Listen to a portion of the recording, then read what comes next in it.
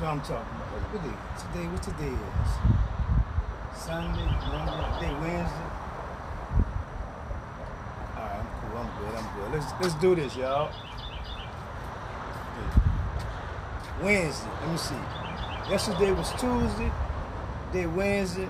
Let's get it in. Y'all know we do this every day. All that old playing. Y'all gonna trip out today, right? We're going back. We're gonna touch back on yesterday. We're gonna break this stuff down. Like I say, a lot of stuff. This, a lot of stuff we've been taught in these churches. I'm gonna show it to you in this book. So don't get in your feelings. Get in your Bible. Don't get in your feelings. Get in your Bible. And the thing is, this is the thing. You know, coming off a Sunday, right? Coming off a Sunday, which was Resurrection Sunday. Everybody ran to church for Easter and all this and that. And say, man, let me tell y'all something. Get to know God and get to know God for yourself. Because a lot of stuff, a lot of stuff we being taught, it ain't being taught right. I'm telling y'all. So that's why we get in the Bible every day. That's why we go to God every day. As I say, I ain't been to nobody Bible college. I ain't been to nobody seminary. But guess what? I go to God. So when I go to God, I'm like, say, God, bro, how this go, God? Give me an understanding of this and that. And he give it to me. That's why nobody can run out there. That's why no scholar can't run out there. The bishop can't run out there. The pastor. Because guess what? I go to God to get my information. And this is what I present to y'all. Just like they've been telling us. Okay.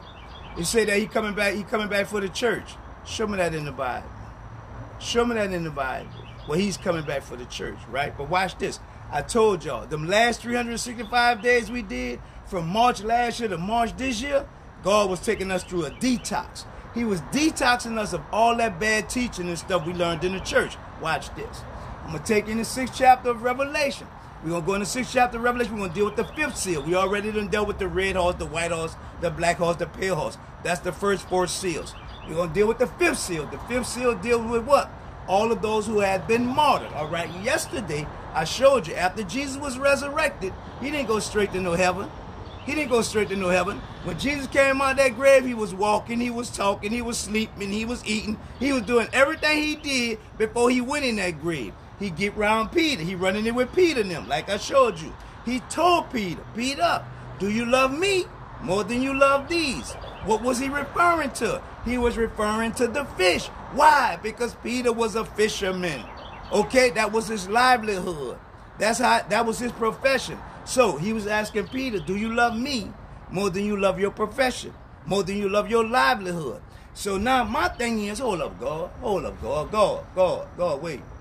If Jesus died, he was crucified, died, was buried, how he remember what Peter did when he rose from the dead?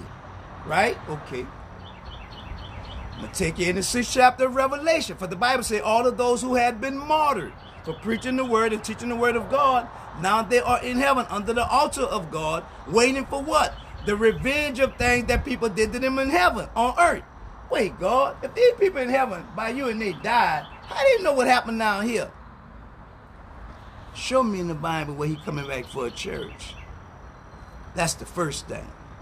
Okay? Now, a lot of the stuff we've been taught in these churches, see, bro, it don't go like that. It don't go like that. I'm going to show you.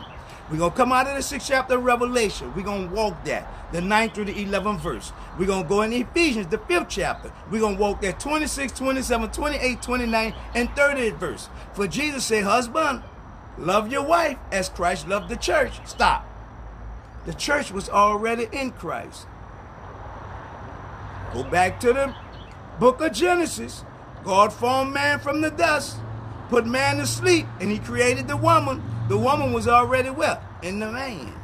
If it's in the Old Testament, people, it's in the New Testament. I'm going to take you in the 18th chapter of Jeremiah and tie it all together. All together. But in the fifth chapter of Ephesians, we're going to break this thing down. But they've been telling us, wait, he coming back for a church with no spot and no stop.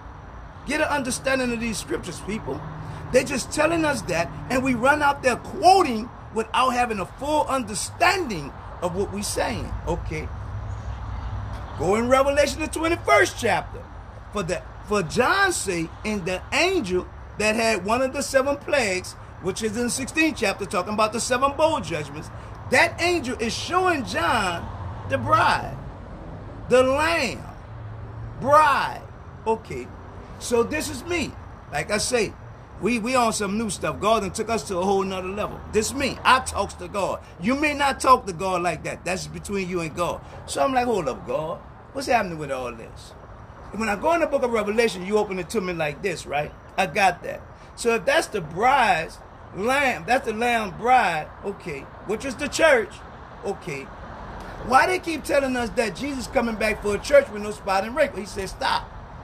Go back and read what Paul was writing. He was writing to the church at Ephesus to let them know how a man should treat his wife. Husband, love your wife as Christ loved the church. He said, stop. Go back to that 26 and 27 verse and really look at it. It talks about glory.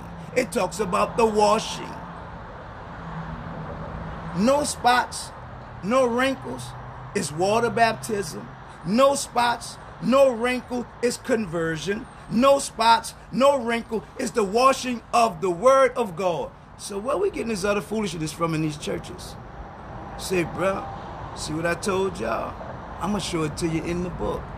I'm going to break it down to you from the book. So where they getting this from? I don't know, bro. I don't know. On some real talk, I don't know. So when you run out there, this is why it hurts me to my heart to see us running in these churches and get caught up in all that foolishness, and it don't go like that.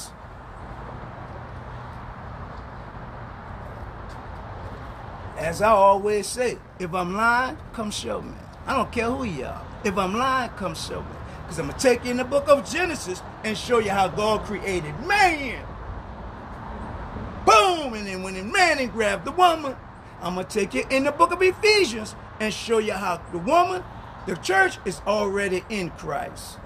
This is why he told them. This is why all this week we're looking at what happened prior to this to the death, burial, and resurrection what happened during the death, the burial, and the resurrection, and what happened after he rose. Why? Because we ran in church. We ran in church with somebody. Oh, he rose. He rose. He rose. Okay, now he rose. Now what?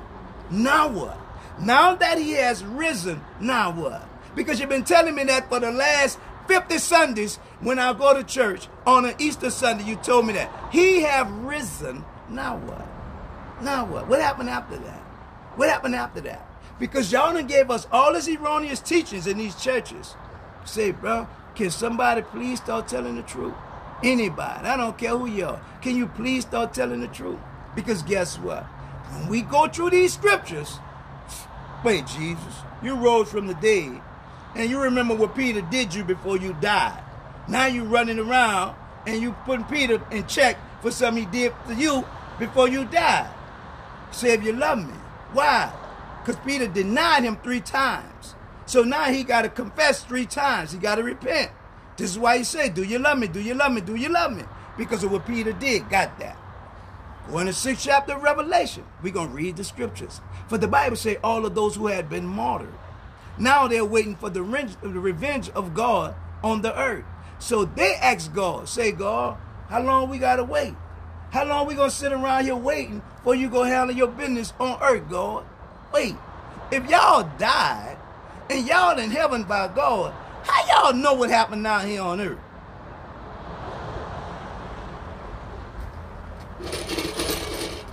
But see, we done cold played y'all. You can't talk to God like that. And you shouldn't ask God. But the Bible say he that lack wisdom, let him ask. So if I'm lacking wisdom, say, God, how does go, God? Break this thing down to me, God. Because guess what? Soon we go in that, soon we go in that 18th chapter of Jeremiah, gonna blow your mind. 18th chapter, the potter, gonna blow your mind. So Jeremiah, because the people didn't want to listen to Jeremiah, because the people felt a certain way about Jeremiah, Jeremiah say, God, don't, don't, don't accept their repentance, God. God, let this happen to their children. Let this happen. All of Jeremiah, bro, get out your feelings, Jeremiah. See, that's what happened with a lot of us. Say, bro, when God give it to me to give it to you, I give it to you. What you do with it, that's your business. If you don't want it, that's your business. How you do? it, That's your business. Why? Because that's your relationship between you and God. My thing is, say, bro, don't be lying to me about that Bible. That's it. That's all I got to say. If you're going to give it to me, give it to me real. So when you go to tagging me in, listening to my, listen to your pastor, listen to your bishop, say, bro, I ain't about to listen to nobody lying to me. On some real talk. Now, if you won't do that, that's on you, baby. On some real talk. I'm gonna tell you what the word of God say, and not just tell it to you. I'm gonna show it to you the way God has given it to me, not them, not how He's giving it to me. Like I tell you, I ain't sat in no class and learned none of this. I ain't sat in no seminary or Bible study. I go to God. God, what's happening with this, God? God, watch this. Watch this. Good morning. Good morning. Good morning. It's all right, baby. It just hurt me to my heart to see how they been playing y'all in these churches. And y'all running by. Say, bro, don't go like that. That don't go like that, baby. Well, if Jesus be lifted up, Jesus said, if I be sanctified. So you, what you calling on Jesus for? Jesus said, I gotta go. Jesus said, why? Jesus told Mary, don't touch me, Mary, baby. What you touching me for? Stop clinging to me, man. How y'all gonna get this Holy Spirit? How y'all gonna get this next ministry and y'all holding on to me? John the Baptist said, I have to decrease so his ministry can increase. If my ministry with water baptism don't decrease, how can the ministry of that fire, baptism of that fire, increase? But yet we stand in the pulpit. Pastor got to decrease. So Jesus could, man, go ahead with that foolishness. It don't go like that. It don't go like that. But we so emotional. We get caught up in our feelings. Watch this. Come here, book. Get y'all something to, something to drink, babe. See, like I say, these next 365 days, God taking us to a whole nother level. Stop running in these churches letting these people play y'all. I don't care who they are. Better yet, tell your bishop, tell your pastor, come learn something so he can stop giving you that bad information. Come here. Come here. Revelation. Get you something to drink, baby. Gonna be a minute. I ain't gonna be no. I'm gonna be gonna be real short. I have, I have, I have a meeting with my deacons. I have to do a virtual wedding. I got a virtual wedding to do. I have another home visit. Man, say, bro, one thing for sure, two things for certain, they gonna stop lying to us about this Bible on some real talk. So I mean, this, this, this me, y'all, for real, all the way. I got an Old Testament and a New Testament, right? I got these people running around talking about the law. These people talking about the Torah. These people talking about the Pentateuch. These people talking about this and that. Okay, I got that. But then I got these people running around talking about they Baptist, they Catholic, they Pentecostal, they this, that, that. I got that. But yet these people these people beefing, right? Okay. But when I read that Bible, right, it started with Abraham, right? Abraham had two sons, right? Ishmael and Isaac, right? Okay. So you either running off of Ishmael or you running off of Isaac, but it all started with Abraham right? So what the problem at? What the problem at? If you won't believe how Ishmael rolled, I got that, babe. If you won't believe how Isaac rolled, I got that. But it all come out of Abraham. So what's the problem? Why we as believers believe it? If you won't call him Yeshua, call him Yeshua. You won't call him Yahweh, call him Yahweh. You won't call him Jesus, call him Jesus. Whatever you won't call him, that's you. That's why it's called personal relationship. You gonna make me? How you gonna make me call him what you call him? I, that's my dude. You you call him Jesus, I call him my dude. What's the difference? Wait, what's the difference? He call him Jesus, he call him Yahshua, he call him Yahweh, he call him. What's the difference? What's the difference? You know what the difference is? What we know about him and how we serve him. Come in Revelation. Come in Revelation. All that other stuff. Jibby jibby jab. Watch this. And see, this is the thing, people. For so many years, they told us, don't read Revelation. Revelation scary. Revelation gonna drive you crazy. All right, okay. Well, I must have been a crazy man because I read it. And I didn't just read I studied. Okay, you won't run it? And guess what, people? That's where the information is in the book of Revelation. But Pastor Mike, when people die, I, let me tell you something. When you die, only God know whether you're going to go to heaven or hell. I don't know that. I don't know that. So I would never stand at no home going and say to be absent in the body. I don't know that. I don't know where you're going. But I do know what happens with these people. I do know that. When I go into the 20th chapter Revelation, I know what happened to those people. Now, where you going? That's where you ain't going. Why? Well, this person here could have lived like hell. But guess what? They knew God. They knew God. And God forgave them. This person right here ran the church every Sunday. Every time the doors open. But yet, God gonna tell them I never knew you. I never knew you. Why? Because it's two type of people. Those that did to the least of them and those that did not. So what all this other stuff for? Huh? Huh? Huh? Come here. Come here, Revelation. We're gonna, we're gonna, we're just gonna, we're just gonna, we're gonna run this Bible. Watch this. In Revelation, the ninth verse, sixth chapter, ninth verse. Watch this, people. Revelation, we done went through the white horse, the red horse, the black horse, the pale horse, right? Now, we just scratched the surface on the white horse, the red horse, the black horse, the pale horse. We're going to go back over those. Why? And when we deal with those first four seals, we're going to get in depth. This is the fifth seal. Watch this. We know that the seals are well. They are on the book. But the book, in order for the book to be open, the seals got to come up off of the book. Now this is the fifth seal that's going to come up the book. We still have two more seals. We know that that sixth seal is going to be a great catastrophe. We know that the seventh seal, with that seventh seal come off the book, it opens the first trumpet judgment, which starts what? The seven years of tribulation. Watch this. Bible, bit. Revelation 6, chapter 9, verse says, And when he had opened the fifth seal, I saw under the altar the souls of them the souls of them that was slain for the word of God, that was slain for the word of God, and for the testimony which they held. Okay, verse 10. And they cried with a loud voice, saying, How long, O Lord? How long, O Lord? The people who died, who was on earth, who died, is now saying, How long, O Lord, holy and true, dost thou not judge and avenge our blood on them that dwell on the earth. Say, bro, y'all know what happened with y'all? Y'all dead. How y'all know this stuff? But guess what? Nobody really teaching us this book, people.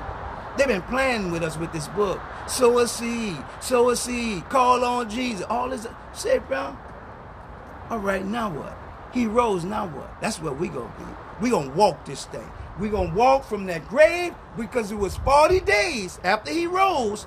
40 days after he rose, he walking and talking and putting them on top of gang.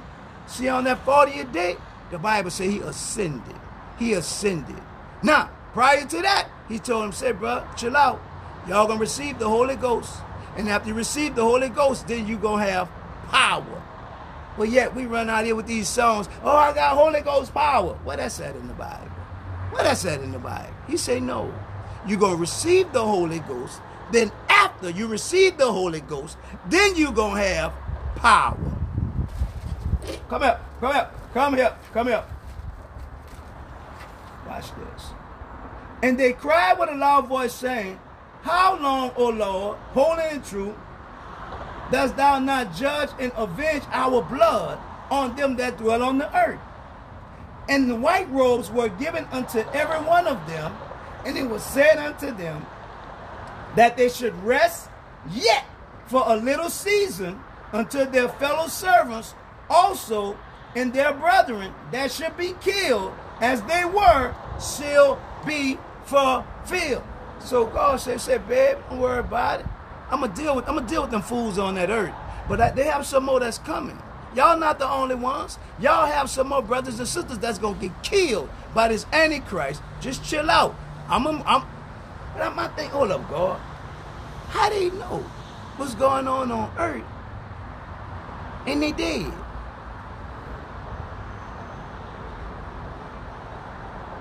That was the first question I asked God. But God, they told me when you open the sky, then we're going to be resurrected. God said, Mike, show me that in the Bible. Wait. So when we accept Jesus Christ as our Lord and Savior, we automatically become resurrected. He said, yes. He said, yes. This is why when he come out of the grave and he seen them, he told Mary, don't touch him because they wanted to continue to cling on to him. Let me go, babe. I gotta go. But he told Thomas to touch him because Thomas was always doubting.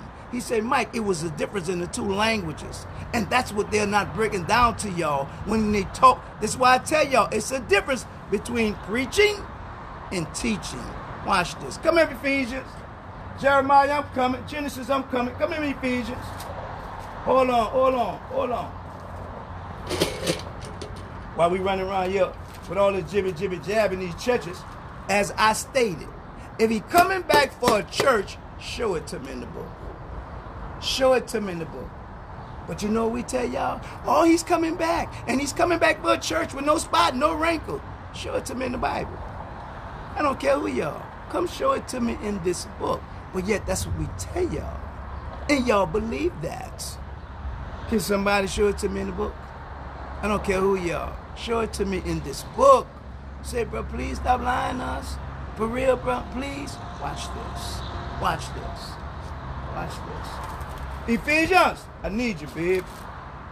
Watch this. Ephesians, the fifth chapter. I'm going to start at 23. Watch this. For the husband is the head of the wife, even as Christ is the head of the church. And he is the savior of the body. Stay focused on that. Verse 24. Therefore, as the church is subject unto Christ, who? The church. Subject unto who? Christ. Watch this. So that the wives be to their own husband in everything. Watch this. See, we're going to pimp y'all with that, but watch this. Husbands, love your wives, even as Christ also loved the church and gave himself for it. First of all, first of all, how did Christ love the church? First, that's first. How did Christ love the church? That's the first thing. Okay, so you're going to tell me, love my wife like Christ loved the church. First of all, I got to learn how Christ loved the church. I don't know how Christ loved the church, so how am I love her like Christ loved the church? That's first. Watch this. Verse 26 breaks it down. Watch this. That he might, that he might set apart. Who is he? The husband of Christ. I'm giving the husband understanding of the church, but I'm using Christ.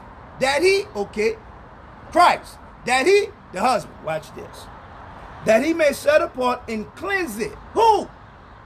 The wife or the church? Christ, the church. The husband, his wife. That he may set apart and cleanse it with the washing of the word, with the washing of water by the word. So, God, where they getting all this other foolishness from that he's coming back for a church and we got to run around the church and we got to high five people and the breakthrough. Where they get that from, God? Where they get that from? Where they get that from? Because it's sure not in this book. And we run the church and we believe that. And we hollering and we cutting the food. But the minute some adversity come, the minute a dilemma come, the minute a situation or a challenge come, we fall apart. Well, where all that foolishness you was running around in the church doing? That didn't work. That don't work now. Watch this. Verse 27. That he may present it to himself a glorious church. Who? The husband of Christ. Christ. That he may present it. But it has to go through what? The washing of water by the word. How many of us really know the word of God? Not no jibby jibby jab, not no cliche, not all that foolishness. If you take one step, God will take two. If you sow, God gonna bless you. That's a lie. For the Bible says he'll cause you to reap where you have not sown. So stop lying. Say, watch this. That he may present it to himself, a glorious church, not having spot or wrinkle or such thing, that it should be holy and without blemish. So why am I lie to you and tell you that he's coming back for a church without spots, without wrinkles, without blemish? When Paul is writing this, Paul is giving us an understanding of how the husband should treat the wife the same way Christ treats the church, but Paul breaks it down, letting us know that the church is already in Christ, just like that woman was already in Adam. Say, bruh, wow. I ain't finished. Watch this. Verse 28. So are men to love their wives as their own bodies. He that love his wife, love himself. So Christ, you love yourself. So you automatically love the church. Because the church was in you just like Eve was in Adam, right? Right. So how you gonna come back for what's already in you? Watch this. Come here, Revelation. Come here, Revelation. The book we don't know. Come here, Revelation. That's why we tell you anything. Come here, Revelation. Watch this. Revelation 21 and 9 says, And there came unto me one of the seven angels which had the seven bowls full of the seven last plagues. 16th chapter of Revelation, we're going to go through the seven bowl judgments. This is one of the angels. Watch this. Watch this. Watch this. And talk with me. The angel is talking with John. And talk with me saying, Come high. Come up higher. Come up here. And I will show you the bride. I will show you the bride. I will show you the bride, the lamb's wife. Hello. Hello. Watch this. This gonna blow you. Verse 10 says, And he carried me away in the spirit to a great and high mountain, and showed me the great city, the holy Jerusalem, descending out of heaven from God. Wait, wait, wait, wait, wait, wait, wait, wait, wait, wait, wait, wait, wait, wait, God. First of all, verse back it up verse 9. And he showed him the bride, the lamb's wife, right? I got that. Now he said he took him high and he showed him a great city, the holy Jerusalem, descending out of heaven from God, right? I got that. Watch this. Verse 11 says, having the glory of God in her lights. Wait, wait. Having the glory of God in her lights. Who? The bride, the lamb's wife. But God, how you wait, wait, Jesus, wait, Jesus. And that's where we're gonna be these next 365 days. You know why? Because they've been cold playing us in these churches. How you gonna give me the Bible when the Bible says precept upon precept, line upon line, a little here and a little there, and you don't know Revelation, and you not telling me nothing about this book of Revelation? How you gonna line line up on line because it all go together? How you gonna give me precept upon precept when it all goes together? How you gonna give me a little here and a little there and you don't even know it? Cold game. But this is the bride right here. In the 19th, in the 21st chapter of Revelation. That's why it talks about the gates. That's why it talks about the foundation. The gate represents how they was able to come in and be saved. Why? Go back in the 16th chapter of Matthew. For Jesus said, "In the gates of hell shall not prevail." Why? Because in the 20th chapter, God gonna set this whole place on fire. And when he set it on fire, he'll come down, boom, the new Jerusalem. It's not that what the Bible said. It's not that what the Bible said. So all that we gonna go to heaven. Say, bro, can y'all finish giving me the story? That's what I want to know. I want to know the rest of the story because that what y'all been telling us in these churches for a dollar, bro. You've been selling us out to get a dollar and ain't been teaching us really nothing. Let the truth be told. Watch this. Come in Revelation 20th chapter. This is after the millennium. Watch this. Watch this. I'm gonna start. Let's start right here, Pastor Mike. Let's start right here. Revelation 20 and 7 says, And when the thousand years are expired, this is after millennium, and when the thousand years are expired, Satan shall be loosed out of his prison. Why? Because after the battle on Armageddon, 16th chapter of Revelation, we go through the 17th and 18th chapter of Revelation, we see that he's going to destroy Babylon in one hour. But it's the battle that's going to take place when he put down on his robe in the 19th chapter of Revelation and he come down and wreck this place. That's his second coming. That's his second coming. Why? Death, burial, and resurrection was his first. Why? Because he told Pilate, I came for this hour. What hour? That's why I was born. The day I was born, the clock started. What clock? The end of the world. Watch this. Verse 8 Go back to 7. And when a thousand years expire, Satan shall be loosed out of his prison. Verse 8. And shall go out to deceive the nations which are in the four corners, four quarters of the earth, Gog and Magog. I'm going to take you in the book of Ezekiel and I'm going to break down Magog. Okay? But we're going to do that sometime during this week so you won't lose focus. Watch this. To gather them together to battle. To gather them together to battle. What? Watch this. The number of whom is the sand of the sea. Verse 9. And they went up to breadth of the earth and compassed the camps of the saints about in the beloved city. What beloved city? What beloved city? The New Jerusalem. Watch this. And fire came down from God. And fire came down from God. Revelation 20 and 9. And fire came down from God out of heaven and devoured them. God said, say, bro, I played with y'all before. I'm not about to play with y'all. Sitting down the fire, boom, that's a wrap. I got time for all that foolishness. Watch this, verse 10. And that devil deceived them that was cast into the lake of fire and brimstone, where the beast and the false prophets, where the beast and the false prophet, the beast and the false prophet are, and shall be tormented day and night forever and ever. God said, I ain't got time. Got time to play with it. After the millennium, when he loose again, God said he's just gonna sit down the fire. Boom. Set this whole place on fire. That's called earth. And the new Jerusalem, the new city, is gonna come out of heaven. Boom. This why, this why I be like, say, bro, why y'all playing these people?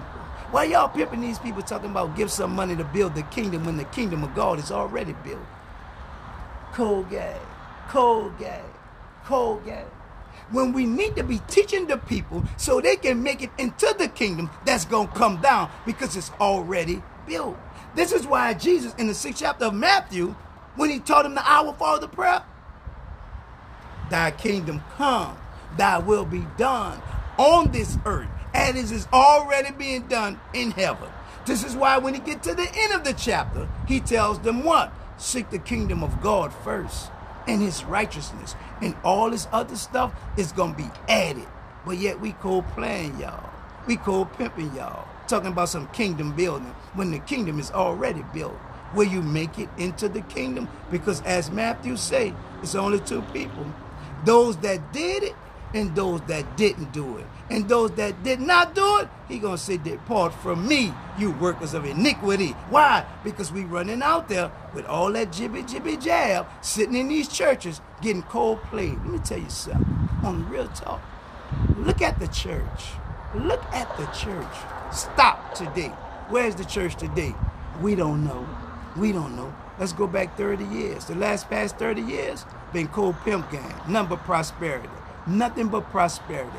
And the only one that prospers is the one that teaches it.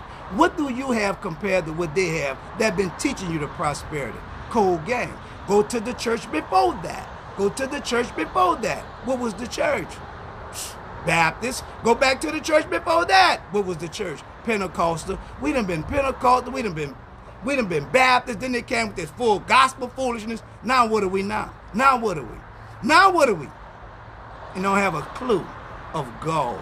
Don't have a clue of Christ. But yet, here come Resurrection Sunday. We done stood up there with all that noise. What do we really know about Christ? What do we really know about the water and the washing? What do we really know? God said, and husband should cleave to his wife, and the wife should cleave to her husband. In other words, say, bro, let all them other people go. Y'all got to become one. You got to cleave to Christ and become one. But Christ said, I got to go. But I'm going to leave you another comforter, Mike. And the comforter going to lead you in truth. And the comforter going to give you all the game. But you trying to hold on to me. How you going to hold on to what I've given you and you holding on to me? Because they say if you be lifted up, Mike, that ain't what I was talking about. The scripture said, if I be lifted up, but I was talking about crucifixion. I was letting them know how I was going to die. But they told me to call on you, Jesus. For what? What you calling on me for, Mike? But, but, because they told me. Okay, show me in that book where you need to be calling on me, Mike. Um, um, um, Um, show it to me. Show me in this book where we need to be calling on Jesus. That's how they been playing us. So we run around the church, G, G, G, G, G, Jesus. No, you need to get to know God and get to know God for yourself. And you need to get to know that Spirit of God that's in you, the Spirit of God that dwells in you. You need to get to know the one that's in you so you'll be able to stand up on anything and anybody and say, Greater is He that's in me. I don't care what the doctor say. I don't care what the judge say. I don't care what a Negro or his mammy say.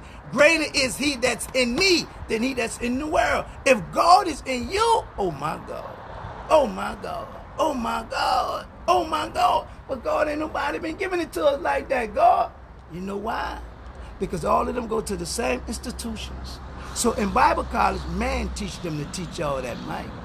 In seminary, man taught them to teach y'all that. But what did y'all, did y'all ever come to me?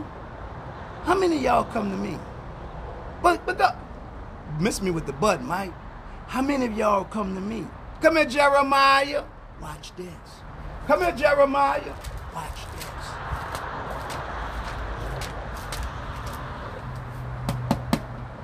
Watch this. Jeremiah, the 18th chapter. Watch this. I'm going to start verse 1. The word which came to Jeremiah from the Lord, the word which came to Jeremiah from the Lord, saying, Arise, go down to the potter's house, and there I will cause thee to hear my words. Jeremiah, go down there to the potter house. I'm going to give you the game. Jeremiah, watch this. Then I went down to the potter house, and behold, he wrought the work on the wheels. And the vessels that he had made of clay and marred in the hand of the potter. So he made it again another vessel, as seemed good to the potter to make it. Then the word of the Lord came to me, saying, O house of Israel, cannot I do with you as this potter, says the Lord? Behold, as the clay is in the potter's hand, so are you, so are I in my hand, O house of Israel. So if I'm in God's hand, if I'm in God's hand, don't lie to me and tell me, oh, your breakthrough coming. No, I already got my breakthrough. I'm in God's hand. Oh, you going you gonna have this. Stop lying to me. Stop lying to me. I'm in God's hand. God got me. How you know? Cold game. But we fall for that. Why? Because they play on our sentiments. They play on our emotions. I heard somebody say, Pastor Mike, I used to feel guilty about not going to church because I had nothing to put in church. See how the church played you? I don't care if I ain't got a nickel. I come to hear a word. You gonna give me a word? So I gotta pay for this? I gotta come here and pay for this? I don't have nothing, baby. But then again, you know what? Pastor, say deacon. Pastor say come as you are, right? And that's y'all slogan in this church, come as y'all? Yes, come as y'all. Okay. Well, I'm broke. And I came broke. So now that don't work, that don't you say come as y'all. I came broke. I ain't got nothing. I don't have nothing. So I can't get a word because I don't have nothing. Say, bro, Christ wasn't like that. Can you imagine the husband telling his wife, look, baby, I can't do nothing for you. You ain't got nothing, I can't do nothing for you. When the Bible say love her as you love yourself. So if you don't have nothing, you ain't gonna do nothing for yourself. Cold game. Cold game. Cold game. And you know what? They've been playing that game on us for the minute, for a good minute. Watch this. Says the Lord, as the clay is in the hands of the potter, so are you in my hand, O house of Israel. At what instant shall I speak concerning the nation, concerning the kingdom, to pluck it up and to pull it down and to destroy it? Verse 8. And if that nation against whom I have pronounced turn from their evil, I will repent of the evil that I thought to do to them. And at what instant I shall speak concerning a nation, concerning a kingdom to build and to plant it. God's doing, not no man. Man could never do that. But, but, but, but, but, but, but, people, until you get to know God for yourself, man gonna continue to play you. Watch this. Look what Jeremiah said. Jeremiah 18. Watch this. Jeremiah 18. 18 and 18. Then said they, Come and let us devise devices against Jeremiah. What? What? What? Let us attack Jeremiah. Why y'all want to attack Jeremiah?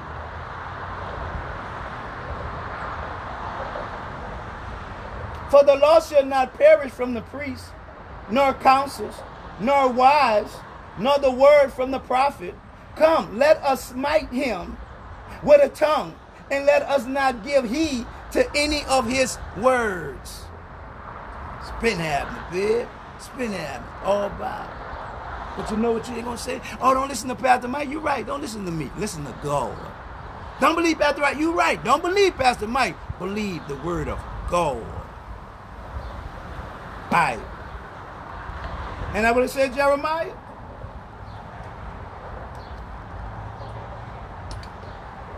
Come here, Jesus.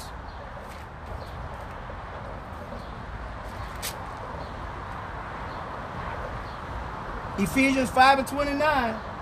For no man ever hated his own flesh. For no man ever hated his own flesh, but nourished and cherished it, even as the Lord, the church. Even as the Lord, the church. You know what's so cool about this game? I'm to tell you. Wherever God makes, wherever God gives a vision, he makes provision. That's what I'm to tell you right. Okay. Where God gave you the vision to start that business, right? He to give you, he to give you what you need for it. Okay. If it works for you, it should works for me. If God gave me the vision to start this church, he gonna give me the provision. Isn't, isn't that what I told you for your business? Oh, don't, don't, don't they tell y'all that the church is a business? Well, if it worked for you, it should work for me. But I don't want it to work for me. I want it to work for you. But I want you to give me your money while you wait for the provision of God for your business. Man, I'm done. I'm done. I'm done.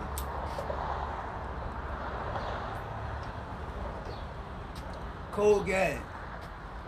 Okay, you got that. Tell me, okay, grandmother died, right?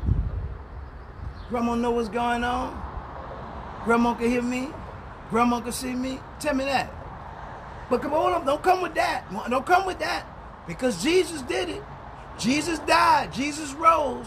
Jesus was walking and talking. Jesus remember what Peter did. Don't come with that. I go in that sixth chapter of Revelation. All of those who had been martyred, they waiting for their revenge. They waiting for God to avenge what happened to them on earth. So don't come with that.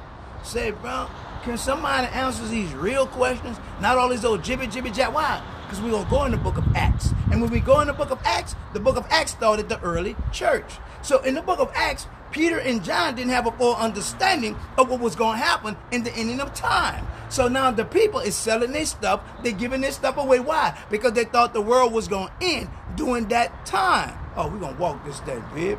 We're going to walk this thing. We're going to walk this thing. We're going to walk this thing. So as the people was giving and selling and doing everything, the Bible say everybody had as they needed. This church today, this church today, we run the church like empire. Only Lucious and, and, and Cookie and the family good. What about all the other people? What about all the other people? Bible, baby. But yet, we run the church Sunday, and you going to tell me he rose. He rose for you to handle me like that? No, baby. He going to take care of the church. He going to take care of the church. Why? Because the church came out of him. How do I know?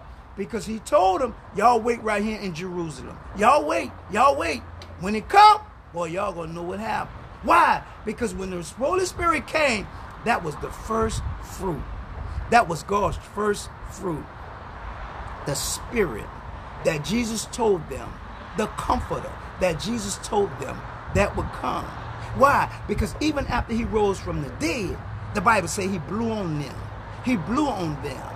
And they received the power, but not the power that they was going to receive when the Holy Spirit came and dwelt within them. He was still, after the death, the burial, and the resurrection, he was still preaching, teaching, and breaking it down to them. Not today, not today, not today. Want to run cold game. All I want is the truth. Just tell me the truth. That foolishness, say, bro, it don't go like that. Okay, according to this book, when we get in this book of Revelation, he said don't add to it and don't take away from it. Else he gonna take your name out of the book. Okay, I got that. That's the 22nd chapter. Okay, but when I go in that 20th chapter, he gonna pull out these books at the great white throne. Okay. Do you really know about the great white throne of judgment? Because if you know about the great white throne of judgment, that means you have already accepted the great salvation. This is why the church have all these doors. The north, the south, the east, the west. Isn't that what it said in the 21st chapter of Revelation when it breaks down the church, the bride, the lamb of the bride, the bride's lamb? Come on, man. See, bro, we done ran some cold game on y'all in these churches. Boom. And it's all Bible.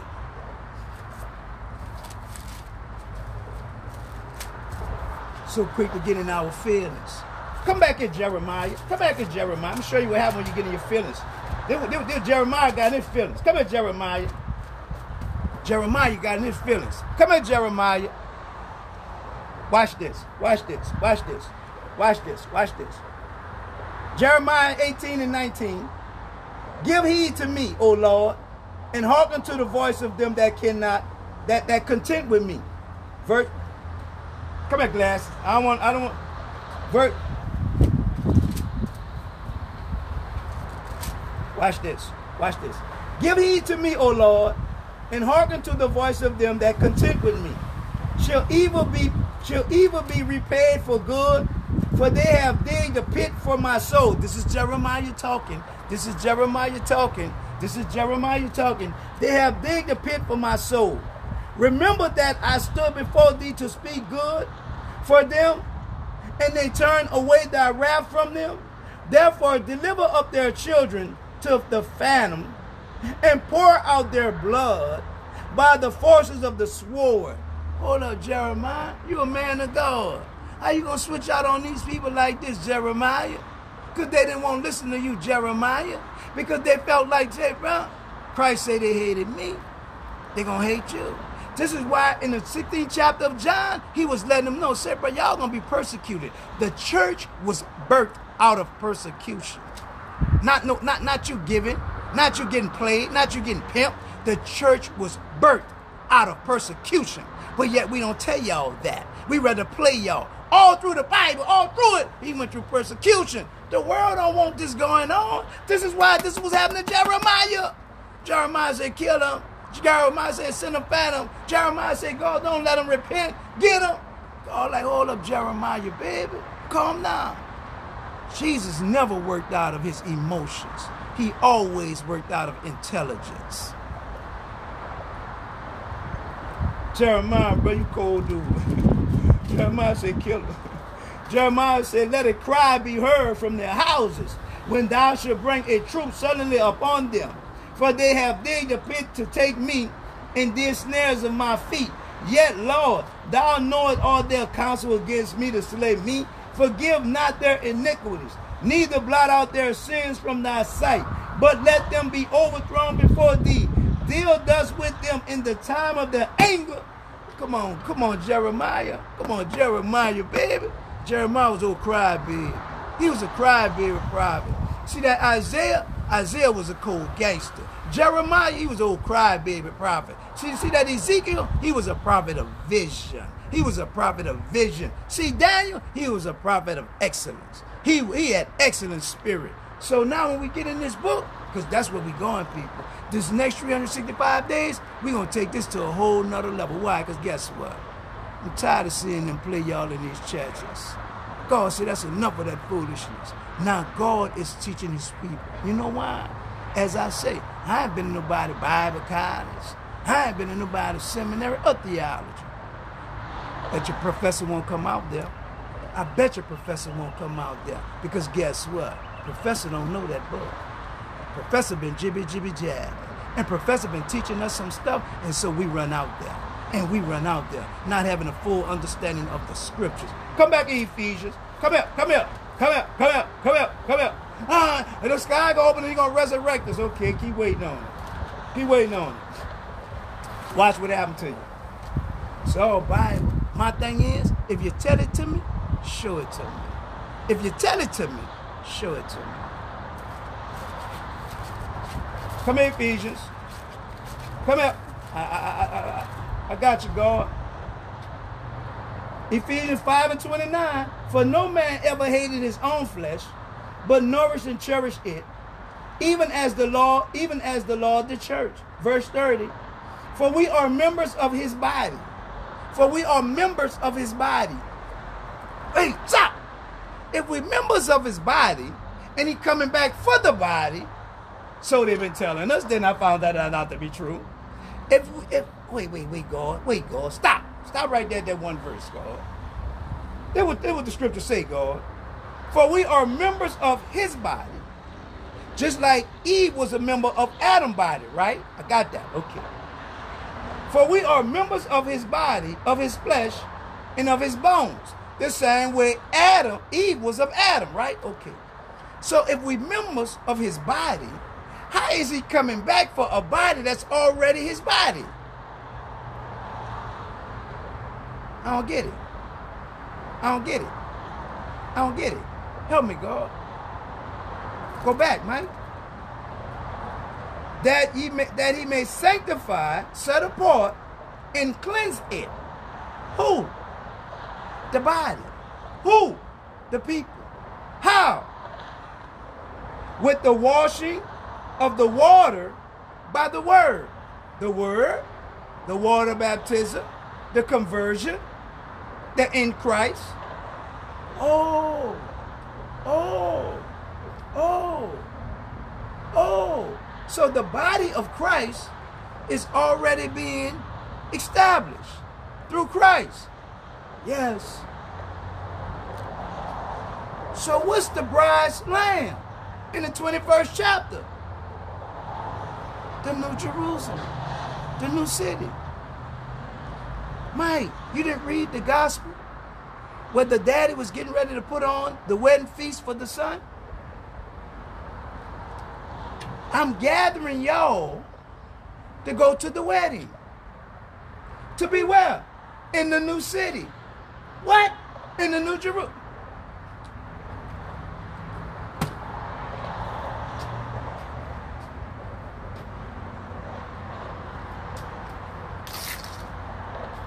Hold up, God. Yeah, Mike. Getting you to come to the wedding, babe. Is not that what said in the gospel? And when you came to the wedding feast back then, right? And excuse me, in order to come in, right, Mike? You had to put on a certain attire, right? Else you wasn't coming in. They gave you what to wear at the door, right? Isn't that said in the gospel, right? Yeah. Why you think you're gonna get in without the right attire of Christ? No spots, no blemish. Through the watering of the word, through the cleansing of the word, through the acceptance of Christ. Say, God, ah, mean?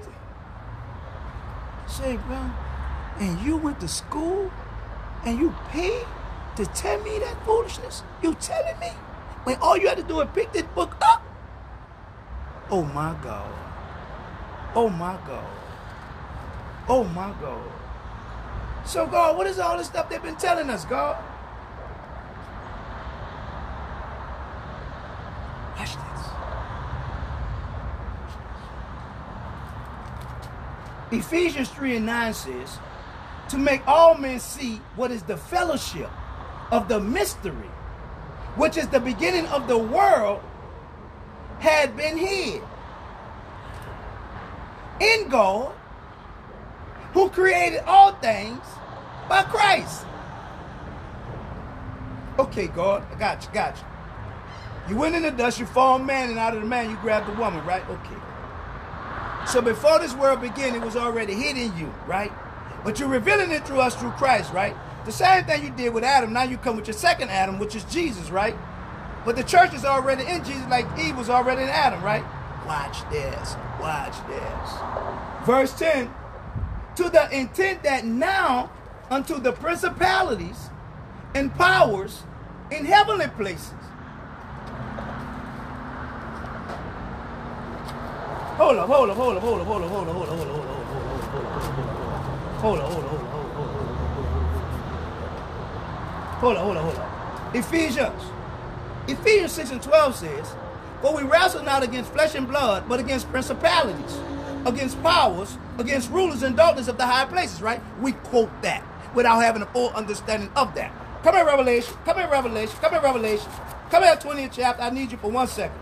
I need you one second. Watch this. This is how deep we gonna get. Watch this. And I saw them on thrones, and I saw the thrones, and they that sat upon them, and judgment was given unto them. Stop. The thrones, those who sat up on them, and judgment was given unto them. Watch, watch this. For the Bible said, if you be faithful over a little, gonna make it rule over much. This is what he's talking about. That's a promise he made. That's a promise he made, but that's not gonna happen until the millennium, right? Watch, okay. Go back to Ephesians. Y'all know how y'all like quoting that. Oh, we wrestle not against flesh and blood. Watch this. About to blow you, about to blow you out the water. For we wrestle not against flesh and blood, but against principalities, against power. Stop. Ephesians 3 and 10 says, to the intent, to the intent that now unto the principalities and powers in heavenly places. Hold up, God. Hold up, hold up. If we wrestle not against flesh and blood, and then you tell me it's in heavenly places. Say, Mike, let me tell you something, babe. Before Adam touched that tree, principalities, all of that was heavenly, baby. But when he touched that tree, it became evil. Now we got to wrestle against that where we had power and dominion over. But God, they didn't tell me that, baby. But they always, man, you wrestle. So now when we get in the book of Revelation in the 20th chapter, now guess what? Jesus is in reign. For the Bible said, and the government should be up on his shoulder. Now he gonna reign for a thousand years. So now, Mike, that once was heavenly, became evil, is now back heavenly. Because now you're gonna be the principalities. You're gonna be the heavenly one. And you're gonna be the judge. Over who? Them. Who are them? Those who are gonna be there for the thousand years during the time of the millennium. But God, nobody never told me all this stuff. God, Mike, how they gonna tell you what they don't know? They don't know the book of Revelation. So how they gonna tell you about some revelational knowledge? Gonna turn your book, babe? turn your book. turn your book. We done?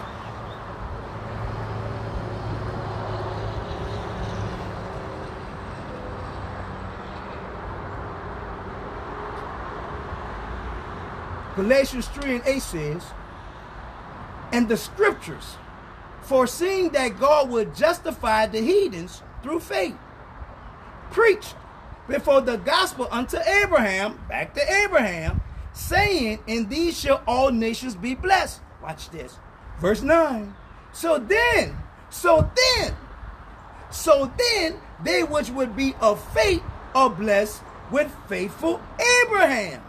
For as many as are of the works of the law are under the curse. For it is written, Cursed is everyone that continue not in all things which are written in the book of the law to do them. Watch this. If it's 630 some laws, do you know all the laws? Do you know all the laws? Well, yeah, you're going to tell me about a Sabbath. You're going to tell me about some ritual. You're going to tell me about some ceremony. Do you know all them laws? Do you know every last one of them laws?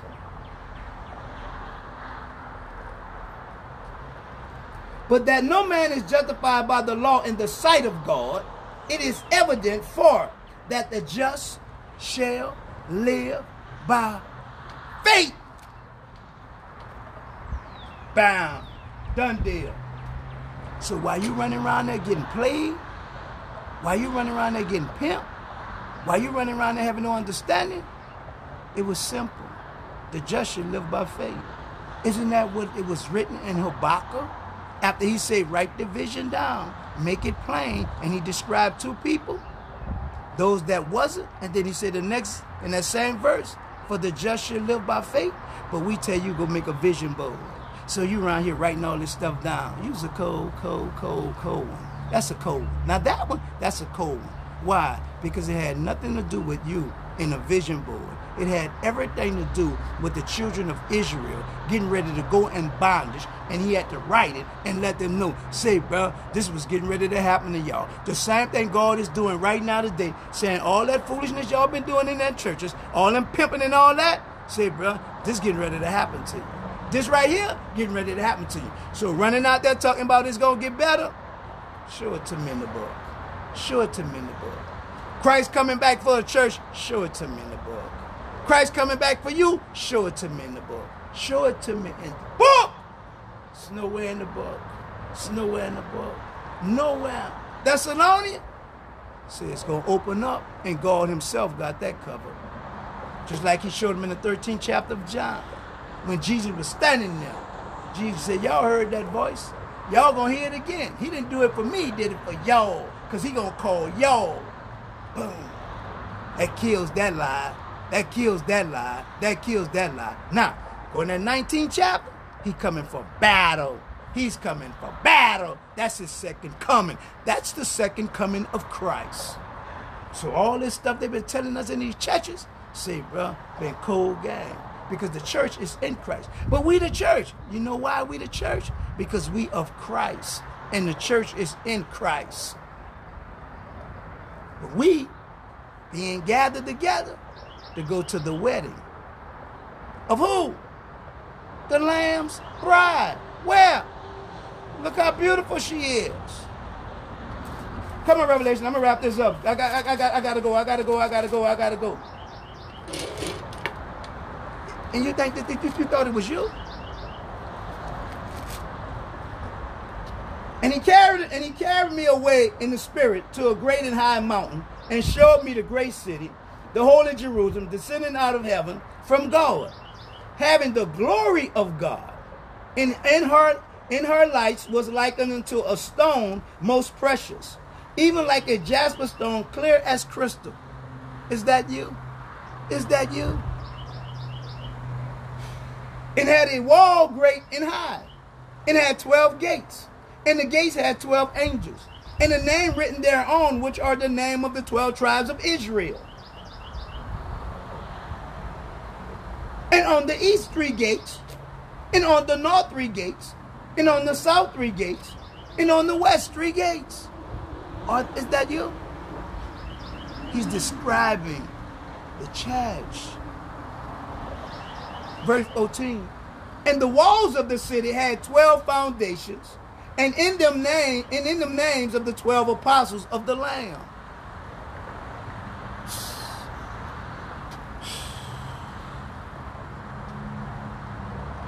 And he that talked with me had a golden reed to measure the city, and the gates thereof, and the walls thereof.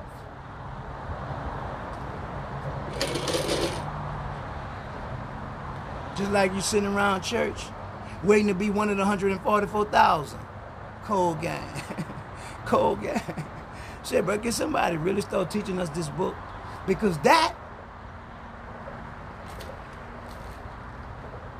Grandpa said in church 50 years. Talking about, yeah, because I'm to be one of the 144,000. Grandpa, you're going to be disappointed.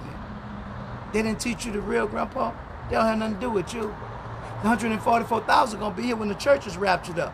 The 144,000 is going to be here when the two witnesses are killed. The 144,000 going to be here to preach and help the people. Grandpa, you sat in church 50 years listening to that. And you know what, Grandpa? You said, well, I got to pay my tithes and offerings because I'm going to be a part of the 144,000. Cold play, Grandpa. Cold play, Grandpa.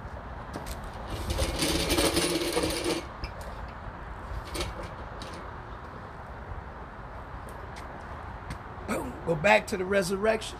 We're going to walk it from the resurrection all throughout this Bible. Come out of that resurrection, we're going to go in the book of Acts. We're going to see what happened. First day, Jesus told them, y'all wait right here. Y'all going to receive power. Boom. Come out of that first chapter, after we're gonna walk it verse by verse. Go in that second chapter, we're gonna deal with the day of Pentecost. We're gonna tie the day of Pentecost with the book of Exodus. Go in that third chapter, we're gonna see a first miracle. We're gonna see the first miracle. What was the first miracle? That man who was lame for 40 years. For the Bible say he was born. He was born at birth lame. And the Bible say he was always at the gate begging for alms. But here come Peter and John. And Peter and John said, Silver and gold we don't have none. But in the name of Jesus, get up. And the man immediately got up and went in the church. And the Bible say 5,000 people followed him in the church. But the church today, see the church today, we'll be standing around. Oh, in the name of Jesus, come out of him, demon. Get up, get up, get up. Come out of him, demon. Say, bro. All the while God standing in heaven said, say, bro, what y'all doing? What y'all doing? Leave the man alone. I have that man there for a reason. I have that man there for a purpose. What are y'all doing? What we trying to get this? What demon? Ain't no demon in here. I'm doing something. That one man, that was the first miracle in the early church. That one man got up, went in the church, and the Bible said 5,000 5,000 because of that miracle. But the church today, we won't pray everything away. We, we don't know the will of God. Say, brother, y'all don't sit down with this foolishness a bunch of foolishness in the church because we don't know the will of God. So after we come up, we deal with Sapphira. Up. Say, bro, these people lied to the Holy Ghost. We're going to walk this book of Acts. We're going to deal with how the deacons came in the game. We're going to look at his little Stephen, how little Stephen was on trial and he dealt with him. Then we're going to deal with this dude named Saul and later became Paul. We're going to walk, we're going to walk the, we're going to walk the whole book of Acts because we'll deal with the first and second journey of Paul. We're going to see how the church really got started. That foolishness we doing today, say, bro, I don't know where they get that from. According to this book, say, bro, I don't know where they get that from. Then again, I do. One man jumps up and said, oh, well, I'm going to start backyard church, and this how we going to believe, and this how we going to talk, and this how we going to say, this we got to wear. And then y'all follow that foolishness behind one man. Say, bro, get to know God for yourself. Get to understand the Spirit of God that's in you. Nobody, nobody in this world is more important than you are in the God that's in you. Say, man, when you realize how powerful you are, man, man, man. Peter and John was so powerful. The people say, Who are they? Who are they? They don't know nothing. They ain't go to school. They were unlearned. But they walk and talk and spend time with Jesus. And guess what? Couldn't nobody touch him. We're going to show how the first persecution of the church came. Why? Because John and Peter going to go to jail. But then God going to get John and Peter out. Then John and Peter going to go again. But then God going to get them out. But then Peter going to go by himself. Then after that, Peter going to get killed. We're going to walk this book of Acts. And when we walk the book of Acts, and we tie it in with the book of Revelation, and then we go into all the Old Testament, y'all to say, oh my God, what have they really been teaching us in these churches? Bible, baby. Bible. That's one thing. They ain't been teaching us Bible. They've been teaching us what man wanted them to teach us. Cold game.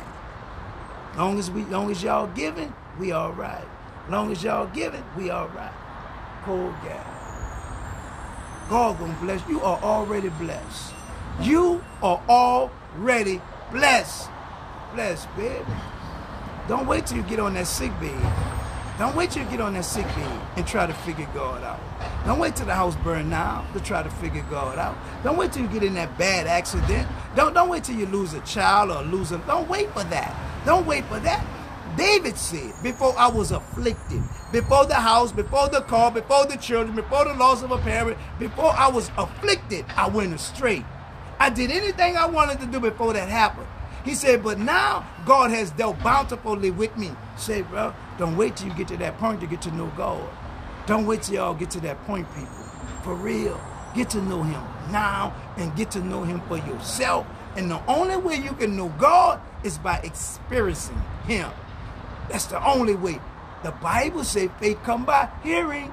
Faith come by hearing. Faith come by hearing. The Bible say every man is dealt a measure of faith. The Bible say that we have the gift of faith.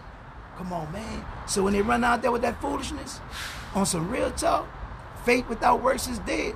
As a believer, don't let nobody ever tell y'all that. That's talking to a vain man. That's talking to somebody that didn't have no belief. That's talking to somebody who had vain faith. Throughout this, throughout these 365, we're gonna break faith down. We're gonna deal with vain faith. We're gonna deal with dwelling faith. We're gonna deal with saving faith. We, we're gonna deal with daily faith. We're gonna break all these different faiths down. Why? Because people are gonna tell you to have faith. Okay, I got faith. Which one? I have faith. Which one? Faith without works is dead. Okay, I'm working my faith. I'm working vain faith. I'm working my faith. I'm working daily faith. You told me faith without works is dead. But break it down to me. Now, no, now you want to straighten it? Now you want to straighten it? There are at least nine different kinds of faith, people, on some real talk. And we're going to walk these different kinds of faith from the scriptures. Not from jibby jibby jab, from the scriptures. And every scripture I show you is faith. So when people run out there, man, this is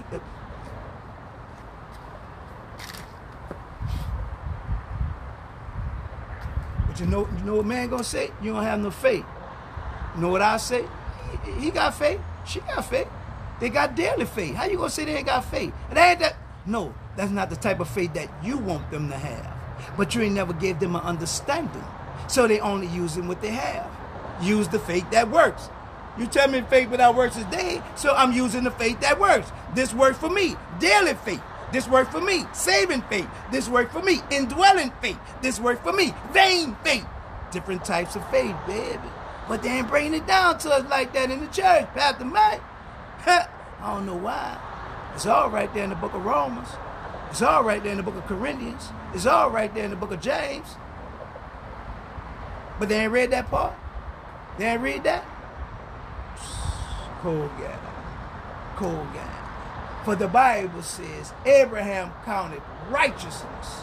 It was accounted righteousness. Why? Because he believed in things that, oh man, call it things that be not as though they were.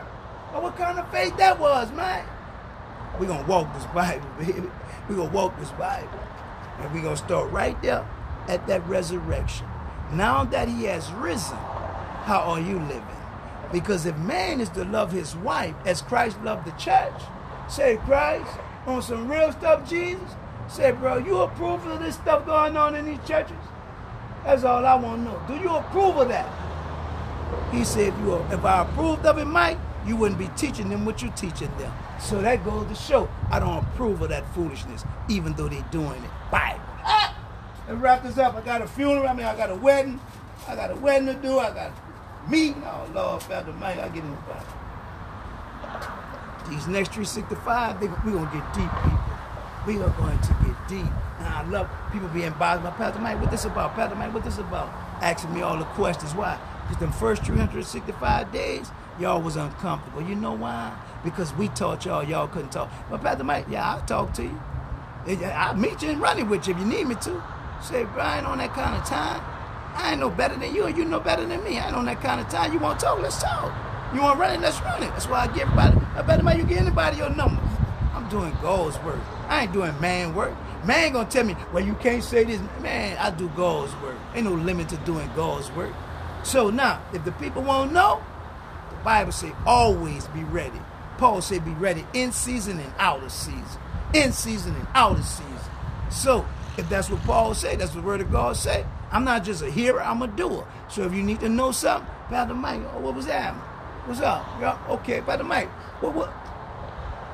Pastor Mike, in the, in, in, in the 12th chapter of Revelation, when he talks about the dragon and he talk about the deceiver, that's the same person. Yes, the deceiver, the, the, the, the deceiver, the dragon, Satan, all them people the same person. All them people the same person. This is why when we study the scriptures, we're going to get a better understanding of the scriptures. Not just, oh, no, no, no, no, no. Using the one verse. See what one verse done did to y'all? See what one verse have done to you all. Mess us up. Preaching? How can they hear except they have a preacher? How can they believe in whom they have not heard? And how can they hear except they have a preacher? Okay, so when we go through the Bible, 23rd chapter of Matthew, Jesus preached to them. He preached to them so well, came to the 24th chapter of Matthew, he questioned, they questioned Jesus. How, what will be the signs? How we would know about the ending of time? Jesus taught them. 25th chapter of Matthew, Jesus broke it down.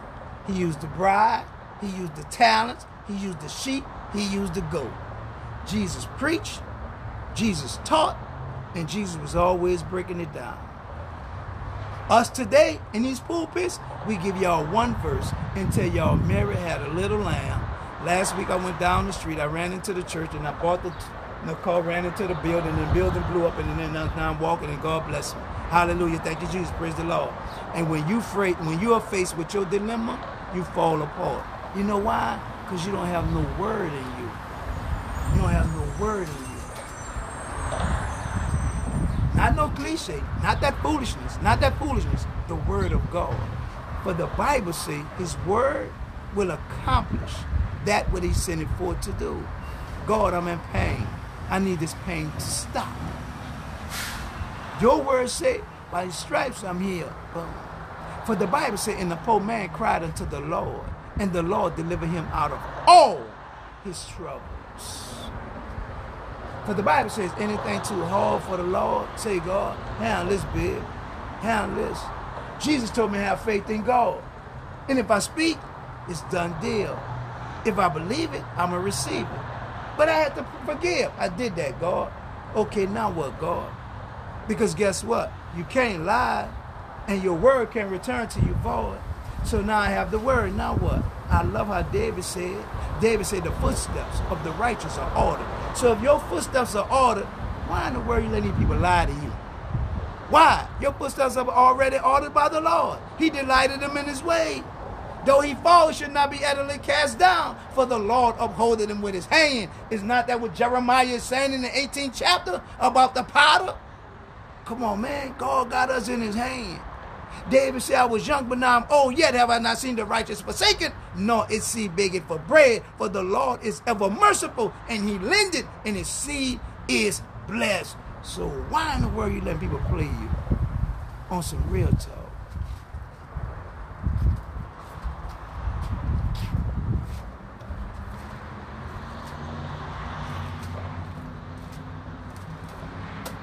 But beloved, be not ignorant of this one thing, that one day with the Lord is a thousand years, a thousand years that's one day. The Lord is not slack concerning his promise, as some men count slackness, but is long suffering to us word, not willing that any should perish, but that all should come to repentance.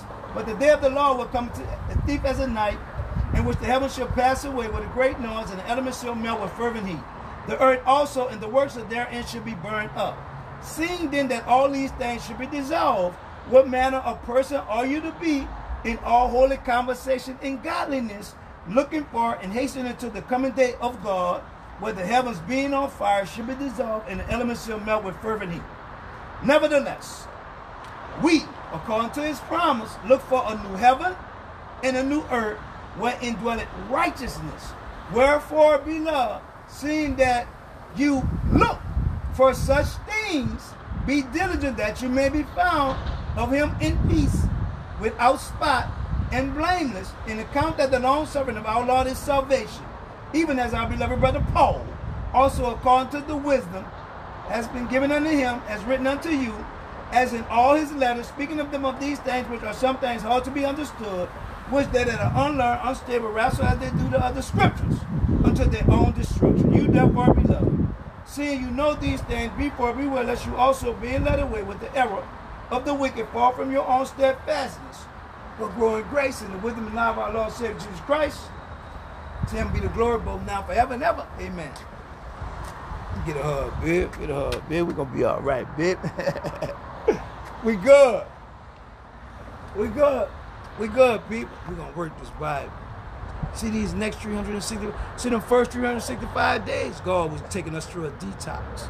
See these next 365 days, like I say, nothing don't stop this 9 o'clock. Every day at 9 o'clock, I'm pressing that button.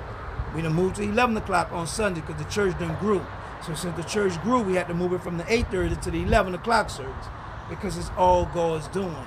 So now, like I say, God so He's taking us to another level. in him, not man. Because as we see, that stuff man taught us.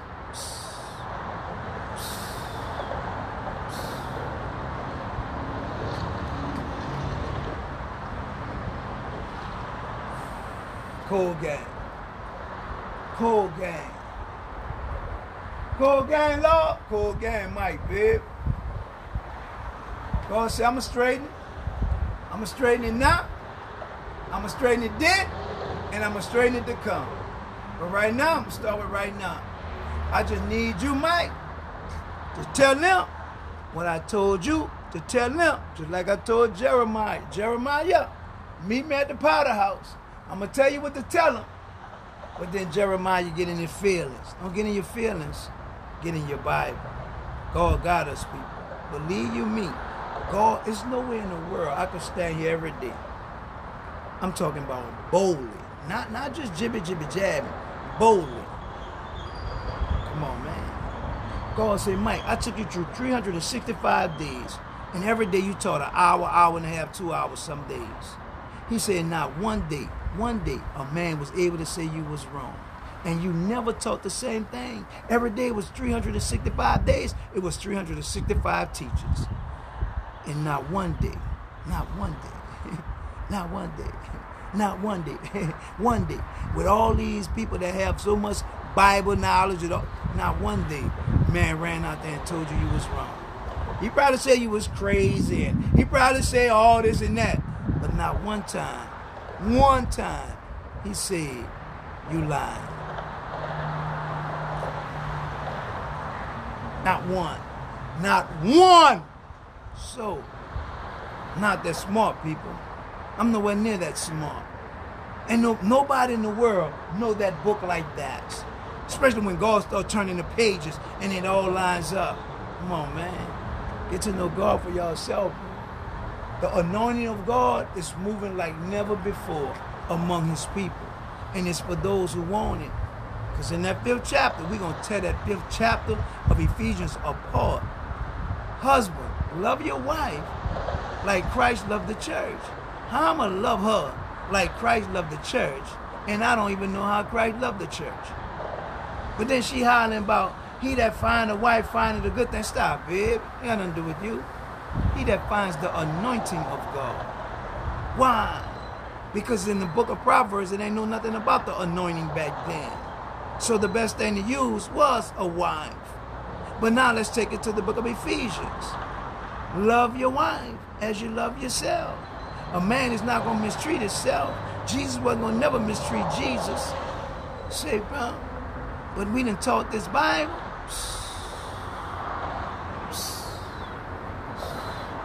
But God, she jibby jibby jabby. Because you're not doing what you're supposed to do. But God, I don't know where that excuse is at. Where's that excuse? Ain't already told you it ain't too hard for the Lord, right? Okay. Well, where I'm at? You call me any time of day. God, look. But that's all I was waiting on. God said, that's all I was waiting on. Why? Because they already had told the people not to listen to Jeremiah. They already had told the people to go against Jeremiah. So since the majority was going against Jeremiah, Jeremiah felt some type of way. Said, Jeremiah, you work for the Lord. I work for the Lord. I ain't but one person. But the Bible say, if it's just you and God, y'all the majority. If it's just you and God, you all are the majority. So all that old jibby jibby jabbing, all that noise, like I said, I ain't but one person standing there running it every day. If I'm lying, come show me. you can't. You cannot. So leave that alone. As, as, as Mr. Spoon would say, say Pastor Mike, they ain't gonna run out there Pastor Mike, because say Pastor Mike, you on, on point. He said, I'm old school Pastor Mike. I know you on point. Mr. Spoon, say, bro, as God give it to me, I give it to God people. Because it hurt me to my heart to see God people get played the way they're being played in these churches.